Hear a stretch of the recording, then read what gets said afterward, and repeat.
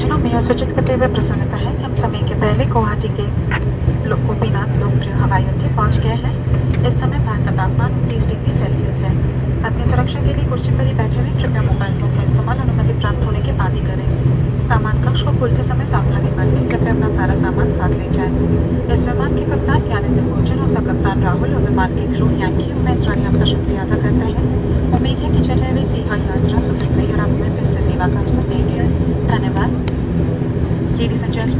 Gentlemen, we are pleased to before time arrival into Guwahati's Lokpriya Gopinath Bordolo Airport. The temperature outside is 29 degrees Celsius.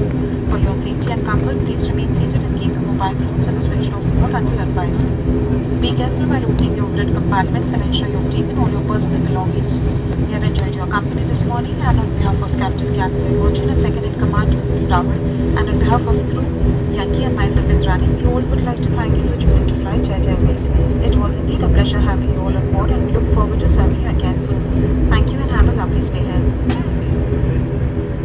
Ladies and gentlemen, the aircraft is still the active runway. Guests wishing to use the mobile phones may do so now. Thank you.